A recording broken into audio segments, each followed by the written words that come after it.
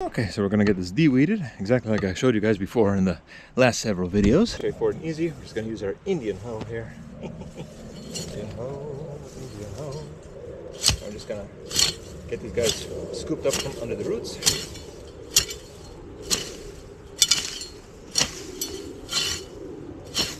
And just get them kind of pulled up out of there.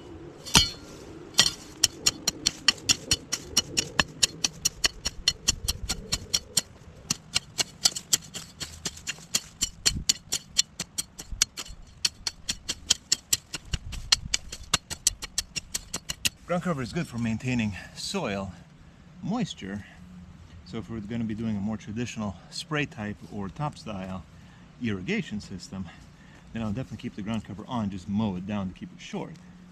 But because we're doing a targeted high efficiency drip system, we generally don't need this in the way because we're not going to have a problem with erosion or soil wash off. But just a steady, slow drip system that's going to just keep it moist, right where we need it to be. So the rest of this can go, so we don't have it all tangling up, especially with these climbing vegetables. Because those are going to need to be set up on trellises and stuff so they can grow nice and clean. We can get our get our crops. And over winter, we're going to have ground cover that we're going to plant in after the last fall harvest and let that kind of take care of the soil during the rainy season to not only protect it from erosion but also to kind of be able to plow under and condition it a little bit and give it some biologic material back in there to help hold in some moisture a little better. So when you're doing this, you kind of go flat against the ground with just a slight downward angle to kind of get underneath and scoop and pull up the roots. And there you go. Makes it super efficient.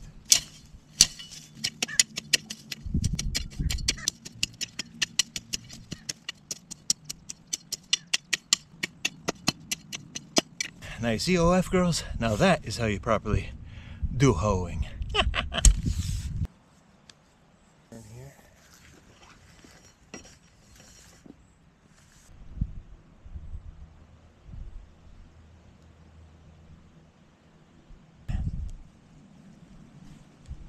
See how pliable that hose gets now after it's been in the sun for a little bit.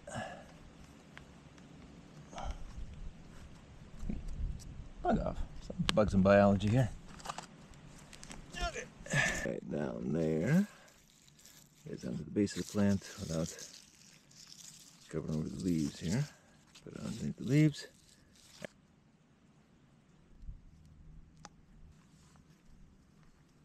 Cucumbers. we got some little pickles going here.